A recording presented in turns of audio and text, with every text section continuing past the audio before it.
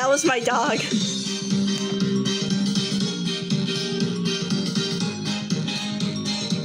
This guy is so cute.